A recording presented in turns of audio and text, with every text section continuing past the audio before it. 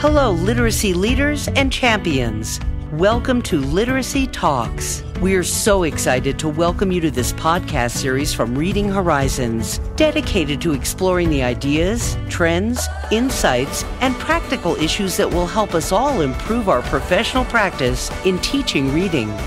Our series host is Stacy Hurst, professor at Southern Utah University and chief academic officer at Reading Horizons, where reading momentum begins. Joining Stacy are Donnell Pons, a recognized expert in literacy and special education, and Lindsay Kemeny, a Utah-based elementary classroom teacher. Today's topic, the art and science of teaching. Let's get started. Welcome, everyone, to another episode of Literacy Talks. Joining me today, as always, is Lindsay Kemeny and Donnell Pons. And today we are going to talk about the meaning of a phrase that I think those of us in education may have heard many times. And it is this the art and science of teaching.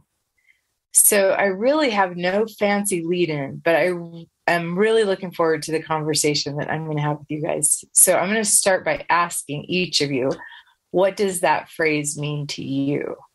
So, Lindsay, let's start with you. Well, when I think of the science of teaching, I think of research. I think of solid things we know. You know, there's this evidence base that we can build our approaches on. And then when I think of the art of teaching, I think of a few things. I think of how you connect with your students, your instructional delivery, those split moment decisions a teacher makes in a lesson, how she looks at her students and sees if her instruction is having the desired effect, how she makes it engaging and effective and her pacing and all those things I kind of think go together into the art of teaching. That is well said. Donnell, what do you think? Okay, it got me thinking about this one because it, it, you hear the phrase often when you're talking about education. And I looked up, it was interesting. The Yale uh, Center for Education, they have a website and they have a whole article on the art of teaching. And one of the phrases out of it says, every successful teacher is an artist. Doesn't that sound just wonderful? Mm-hmm. And then it goes on to detail that the science of teaching describes how, this is what they're saying, how teaching should go. The art suggests the unique way teaching unfolds as a teacher pursues these and other practices. So it's kind of along the same lines as what Lindsay was thinking too. And so we're thinking of the science as the nitty gritty that's involved in the how we're teaching. And then that art suggests the unique ways in which we teach. With reading, it's very interesting I think, I, I love that we're having this conversation because it's particularly important to understand where science and the art of teaching come together in a classroom, I think. Yeah, I'm glad you said that because I think often about um, a lot of things that Louisa Moats says, actually. but one thing that she's mentioned frequently is that as a profession, and I, I do believe this is changing. We have had entire podcast episodes on books and things that guide teaching the teaching of reading. But historically, and Lindsay, if we think back even to when we were in the classroom and fully embracing balanced literacy, there were no seminal works that I knew of that we could refer to. So, whether you're talking about science or knowledge, there wasn't a body of work that we learned as a pre-service teacher in the same way um, that maybe a medical student starts with Gray's Anatomy, and that is the actual term, right? It's not just the TV show. They have this this body of knowledge or these seminal works that they refer to, and the way that we were taught to approach teaching and specifically teaching reading, there weren't a lot. Like I could say um, classroom management, maybe, but it wasn't really research based. It was a popular book, is what it was. It was Harry Wong. I don't know. Did you guys learn that? Yeah. It was just a lot of cool things put together in a palatable way. So I think there's a lot that goes into that phrase. When you guys both talked about that art being the application part of it, can you think of some specific examples that you've seen the art of teaching? Yeah, I can think of some because, for example, I think you're with the art of teaching, you're being really reactive. You're really understanding the strengths and weaknesses of your students, right? And so just today, one of my students had like a little altercation with someone at recess. And so he came in, was sitting at the carpet. I knew that had happened, and he was still a little emotional, like, like trying to calm himself down, right? So as I'm doing kind of call response activity, he's not responding. So I know, you know, maybe normally for another student, I'm going to do a little tap to be like, oh, I need everyone saying it. But at this moment for this student, like he just, if I had like said his name or something and said, oh, I don't hear you, he just would have broken down. Yeah. Right. So I just think sometimes it's knowing when to push and when when not to. Um, sometimes you do, you know, like for phonics, we might start with a little review and sometimes I do the review and oh my goodness, like half the class doesn't remember this. Well, okay, I'm changing my instruction right now then because I've got to go over that a little bit, you know, more in depth before we go on to our next concept. So sometimes you're teaching and you're like, oh, I can tell they're getting a little restless or this is going really slow. So I've got to change pace or we've got to do a turn and talk or we got to break it up somehow. So I think those are a, a, few examples. Yeah, that is a good example. You're constantly assessing. And so, based on your knowledge and experience, you can react or respond to that in ways that you know will be effective. As you were talking, I have one class, and this is unusual for the classes I teach, they're really quiet. And so, when I ask a question to the whole class, crickets I will say there's one kid, and I hate it when he's absent because I know I can count on him to respond. But when I do things like say, turn and talk, or um, I want you to think about this and write it down, or just something different, then I get that out of them. So anyway, I just thought it was funny because usually college students are pretty talkative. It's an unusual class. My class this year is very talkative. So it's like you give them you give them an inch and they go a mile. You know, they just you, so any question, they're all woo, they all have so much to say. That's a fun problem to have too, right? I think it is funny how we adjusted that because with the class I was talking about as well, now I'm in the habit. I rarely ask a question out loud to the whole class. I just start with turn and talk. We don't even yeah. waste. That's a good example. Donnell, what are you thinking of in the way of the art being applied? I was just thinking of going through a teacher training program and the term with itness was used a lot. And I think the with itness really they were referring to the art of teaching and that is just being aware, like Lindsay has mentioned, being aware of your students. You get to know them. And so over time, you pick up on the cues that they're giving you. You're able to pace yourself. So you, we hear a lot in teaching reading this idea of how do I know the pace? How do I set the pace for what I'm teaching? And that takes teacher with itness. That's a blending of science and art. And so to give somebody a very firm, definitive answer, you're going to be here on Monday, you're going to be here on Wednesday, particularly with teaching reading, that is impossible to do. But that's where the art and science come together as a really well trained teacher who's well informed, has a good coach. Even we're hearing a lot about coaching to help with many teachers. We have these reading coaches, and I see them across the country. It's, it's a really nice thing to see. Somebody else coming into the classroom who has experience being in other classrooms too to bring that level of knowledge about the material that you're teaching. But then there's no replacement for the teacher in the classroom who's been with those students, who knows their needs and understands when they see, like Lindsay does, across the room and can tell when this is going to work for that one, this isn't going to work for that one. And they, you do it so effortlessly. It really is art. It's like watching a nice ballet or something when someone's got all the moves down. I mean, I've just an experience today with adult students, adult learners. And even though we've been in a Zoom situation, I can still pick up on those cues. As a teacher, you just find ways to find those cues. Even though we're not personally together, even through Zoom, I know those students. I know what I'm seeing. I know what I'm hearing. That's, that's the with itness, the art piece coming in together with the science, I think. Yeah, being able to respond in the moment. I love that you brought up Zoom because I think we've all learned different behaviors surrounding that. And that very class I'm talking to you about, we had on Zoom instead of face to face.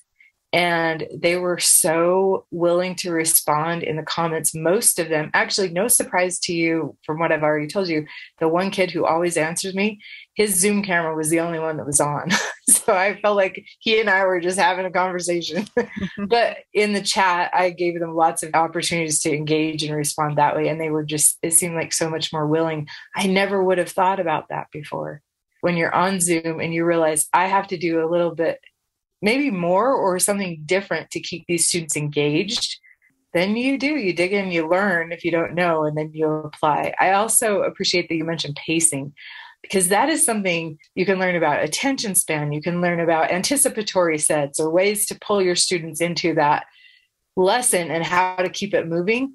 But until you do it, until you apply it, you're really limited. I love having a perky pace. And so I, I've had a lot of people come in and kind of see, oh, you have a quick pace, but it is, it's like this art of, of seeing how quick you can do it with that class but still have everyone with you. And you don't want to go too slow because then it's not as engaging. And i just remember my principal came in uh, to observe me last year and had commented you know they fill out these observation forms and you know had commented oh i was a little worried because you know you had a very quick pace but when i looked around every single student was right with you and engaged. And so it is. It's something that's kind of gets better over time and you perfect it you know, the more you practice. That is so true. That's the thing I tell my pre service teachers all the time. They notice, they feel that pacing isn't quite there, and they feel when they're getting better at it. But I tell them, you really just have to do it for a while. And then I don't know if you guys would agree with this because you can have different situations in different instructional settings. I wouldn't say I'm a master at pacing yet it's like every year might be different or every even every day because one student is struggling this day and, and isn't with you you know, and I will say, I'll add to what, what you're saying. I'll, I love all this conversation about pacing, and I will add the perky pace. You know, that Lindsay, you kind of brought up the perky pace, and I'm all about the perky pace too. I've sat in too many classrooms where things are moving just too slowly. Later, the teacher will say something like, Well, I want to make sure everybody's with me. The problem is, no one was any longer with you because they had kind of shut down. And particularly with the information that you're giving, you want to keep it coming in a steady stream so the engagement is there. I call it the steady stream. So it might feel perky to somebody else, but it's more a steady stream. And that becomes really possible when you know your material really well too. Because like Lindsay said, maybe one day the student over here is struggling. My perky pace continues, but I'm switching up what we're doing in order to give more review perhaps. But that only comes from having really good background knowledge of what it is I'm teaching, right? And and lots of experience with it. So you can whip out this tool or that tool. And that only comes, like I say, when you've been using it for quite a while. So I also think, again, it's that beautiful relationship between the two of the art and the science. And you really can't have one without the other. I've been in classrooms where a really well-read teacher knows the material, but doesn't really understand the students, hasn't really connected with the students and how to keep that material moving. And that can be challenging to be in too. One thing I love about framing teaching in those two terms, the art and science, I feel like with the science, especially the science that we talk about when we're talking about reading development and teaching reading, is a lot of it is settled. I mean, that's the nature of science. We have a foundation. Yes, we're always adding to it and refining and moving forward. But if we just went on that, if we just went on this is the science and maybe this is how you should do it, we wouldn't have individualization in our teaching either. I personally would not want to just be handed a curriculum that aligns 110% with science and all you have to do is read it because I don't believe that's going to happen. but I also appreciate that my teaching style will be different than yours, Donnell, and Donnell's is going to be different than Lindsay's. And that doesn't mean that any one is less effective because we can make it our own. And I think teachers really thrive on that. I would not like my career if I couldn't do that. Yeah, I like those high quality instructional materials are so important. I think it's great to have a script, but the art is knowing when you need to go off that script. And sometimes you do. And sometimes we get so into, oh, you need to teach this program with fidelity. But we still have to remember that we have to be considering our students' needs And it's that art piece as well. There is both an art to teaching and a science of teaching. Share your insights on how these key components come together to support student success. And to learn more about effective, practical literacy strategies and classroom tips, sign up today for our newsletter. Visit readinghorizons.com slash literacy talks. And I think some of the most fulfilling moments in my career have been when I went with the teaching moment, no matter what was next on the schedule. I remember a couple of times um, we missed recess or something else that was coming up because we were just following our curiosity, and you can't always script that. I don't know if my class would ever be curious enough to miss recess. they live for that. I know. I love that, Stacy. I love it. You know what? You know what they frequently missed it for? I'll be totally honest. And I look back now and I know I could have taught this so much better. But it was writing. They loved writing. And I'm going to say the word writers workshop because that's what we called it. But they loved it. I could have done a better job in that case with the science and improving their skill. Um, but they did have a lot of passion for it, which was great. What I do want to um, mention with that too, because Donnell, you said this you can't have one without the other. And I know there have been times in my life when I've had more of one than the other in different situations, um, instructional settings. And I'm wondering if you guys have thought about the limitations of not having enough of one or too much of another. What would do you think a classroom would look like if, say, a teacher had too much of the art so I think what, what I find interesting about this, because Stacy, you even mentioned it at different times. Once you've had, you have both and you have a really good balance between them, you know when you don't. So it's only after you've maybe, and we've all experienced when maybe I had too much of one because I didn't have enough of the other and I was learning to have enough of the other. And we've all been in that situation. I think if you're teacher attuned to know that, oh, this is where my balance is. This feels really good. I've got enough of each. This is a really nice mix of the two. And that takes some time to put together, right? That's why teachers thankfully have some years to prepare and hopefully they're being mentored.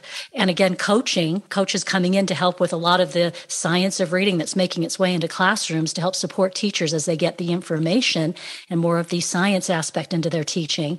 So there'll be finding there'll be a lot of teachers across the country, maybe for the first time, maybe they've been teaching for five years and are comfortable with what they've been doing are now implementing new material and, and discovering some of the science of reading and implementing it in. And so maybe they're going to be finding that balance now too. Maybe they were in balance for a while with what they had. For me, oftentimes when I see too much art, I'm not seeing enough stuff getting done. I think that's that's just the way to put it. There's not enough stuff getting done. And in a classroom where you have a nice balance, the students, as you say, are engaged. They know that their teacher has something for them. The kids' eyes are right on that teacher. They know stuff is happening in that corner of the room. And then stuff is happening. They're getting things done. There's evidence of whatever it is. And so for me, that's always what I'm looking for when I'm in a classroom. And when you walk into classrooms where that's happening, you can almost feel a buzz uh, with what's going on in the classroom and the kids are really engaged. Time should move. We should get some of that flow happening for students where they're not just clock watching the entire time. And mind you, some of the days just going to be that way, but they should be getting some of that flow where 20 minutes have passed and they're not quite sure. I love it when a class ends when I'm tutoring and we get caught up and it's like, oh dear, class is over. Whoops, we got to end. It's my favorite is because we worked right up to that clock and no one noticed. I do love that. In my current setting, do you know what that looks like? Not everybody packing up their backpack five minutes before we're done with class. um, and I did that as a student, so I, I'm well aware that's a thing. Yeah. Well, yeah. Just to answer a question, like Donnell said, quality teaching needs a balance of both. And um, so I think both are necessary, but I do think you can do more harm if you're all art and no science than the other way around. I watched a teacher and she, she was teaching online, which is kind of difficult. And it was like all science. She was doing everything perfectly right, but there was, it was just very rote, very, I mean, there was no style, no emotion. It was kind of boring.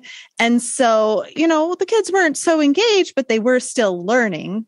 So there's no damage being done. But I think the other way, if we're just all art and just having fun and just only thinking about engagement, then the students are missing out on really important learning opportunities. So you make me think about a lot of things. And Donnell, when you were talking too, if I understood you correctly, as teachers, if we don't have enough of one, we compensate with the other. And so that is something I'm going to pay more attention to in my own teaching. But I think about um, the art and science and the way that we're approaching teaching reading now. And of course, it's because of my current setting. But my main focus is making sure that my pre service teachers know enough about the science. We do have a lot of opportunities to apply it as well. But when you're talking about timeline of teacher development, the time to know the science is before you get into the classroom because Lindsay, like you just said, that's the best case scenario. If you leave with so much time being in a classroom, maybe you picked up things that aren't aligned with the science or just feel good to you um, rather than what we should be doing. It also makes me think about the critique that phonics instruction historically got, and usually the phrase drill and kill followed the word phonics. And I, as you were saying that, Lindsay, I was thinking of that because there are some times that I've seen phonics instruction that is very drill and kill and repetitive, and you wonder what's really sinking in. But that is better than, say, the approach of just surround them in text and they'll get it, or you hope to heavens that they get it. And you know, Stacy, I was just thinking about because my background is in writing, and that was something that I used to do a lot of when I was younger. It always surprises me when I walk into classrooms, and the the writing is such an interesting thing because so many people are uncomfortable with it. And if you think we don't know enough about the science of teaching reading, we really don't know anything about the teaching of writing. it's an even harder skill uh, for individuals because a lot of people who are teaching are not all that comfortable with their own writing. And so how can how can you teach a love for and appreciation for something that you yourself are saying, geez, I hope no one asked me to write something.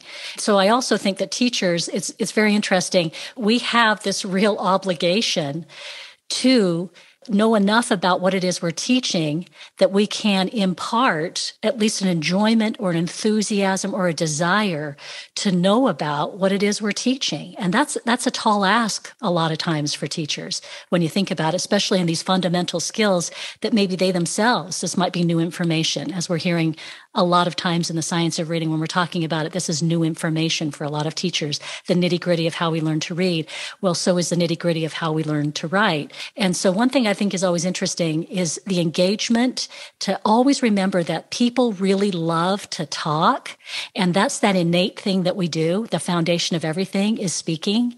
And so if you always with writing i go back to that space of well then let's have a conversation. And the same can be said of when we're teaching the components of of reading, we're using a lot of our speech. We should be. We should be using a lot of speech.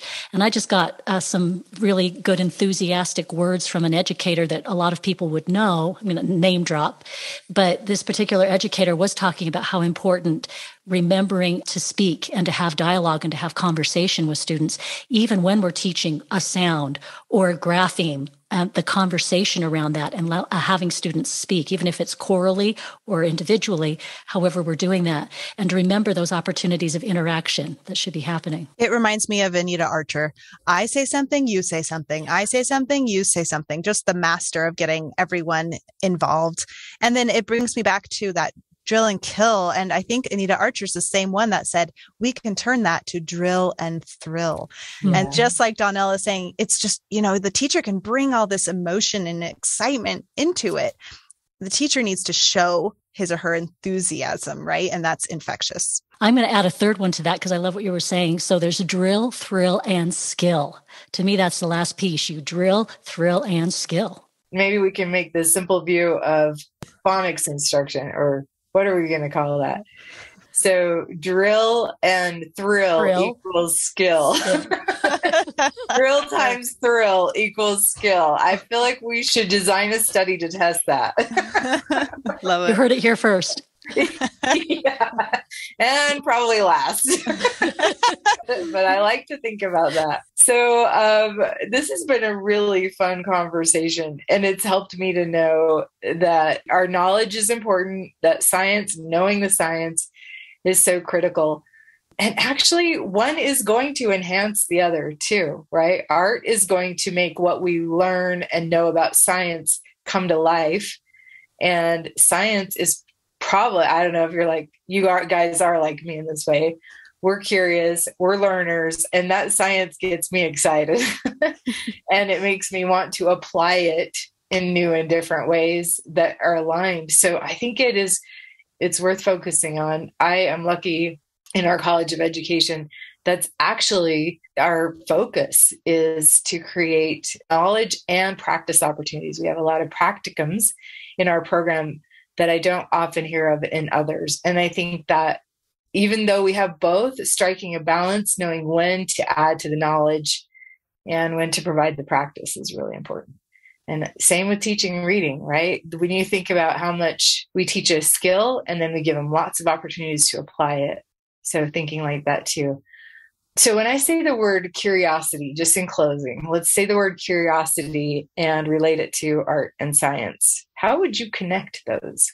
well, for know. me, I, I love the the word curiosity. I think it's a fantastic word. I love pulling that out and thinking about it. In fact, I've used it in a few classes in terms of literature with a few pieces of literature. It's kind of interesting.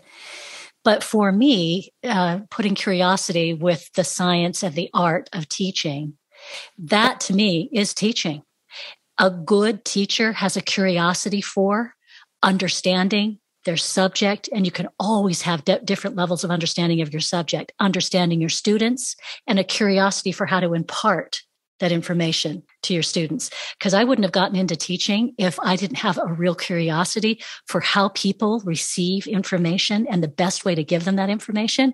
Because anybody can talk about something. But what was it about me that made me think that teaching was something I could do or want to do? And it really was that curiosity for if I love something so much and I understand it so much, I really want to give it to other people because I had such a curiosity for it. And when you can incite that in somebody else and you see it come alive in somebody else, well, for me, that's teaching. I mean, that's that's love and joy. Yeah, and you know what? I actually can't learn something without applying it. Like you're saying, that is what drives me to learn. I don't I don't do well if I'm expected to learn something in isolation. I'm constantly thinking, how does this apply to my life? How can this apply to my teaching? And I think that fostering curiosity is so important to learning. That's what keeps us motivated and engaged. Lindsay, what would you add to that? I just love what both of you said. You both said it so beautifully, but I just think curiosity, what an interesting way to think of bridging the two. And really helping you know stir up some curiosity in our students is an art that's going to lead to them learning the science. I love it. that. Yeah the word bridge is appropriate. I mean your words not ours but i like that. And you know i little kids are naturally curious and I, that's one reason i love early elementary because you just have to go with it and, and fuel it and it's there with older learners, now that I'm on the other end of it, it takes more work on my part to uh, spark that curiosity in them. I think they're at this point going through the motions, right? But if you can do that, you've got an engaged and way more capable and knowledgeable teacher. I don't know that I could add anything, but I just had the thought of it really is curiosity that drives when you see a student who is struggling with a particular concept I need to come up with something. I need to help that student. What can I do to help? The other thing is also listening to what your students tell you to be curious about what they're going to tell you. What can they teach me? And every day they teach me something different. Every day I learn something new about my own ability to teach by being curious about what they're telling me, my students are. So, where does passion come into all of this? Curiosity, passion. Is passion more related to art or science of teaching? Both for me. I think so too. Both for me too. Yeah. I feel like I'm very passionate, very strong feelings on both sides. And you know what? When you're in the classroom with a teacher who's passionate about what they're talking about, you know it. So I love that. And I love that I know so many passionate, curious, smart educators who know how to apply the art of teaching to what they do. And I'm grateful that we had this conversation today. It's given me a, a lot to think about I know we're ending our episode, but I think I'm going to keep thinking about it. I don't know about you guys. Yeah, same. Okay, well, thank you. And thank you all for joining us. We will see you next time on Literacy Talks. Thanks for joining us today for Literacy Talks, the podcast series for literacy leaders and champions everywhere. Literacy Talks comes to you from Reading Horizons, where reading momentum begins. Join us next time.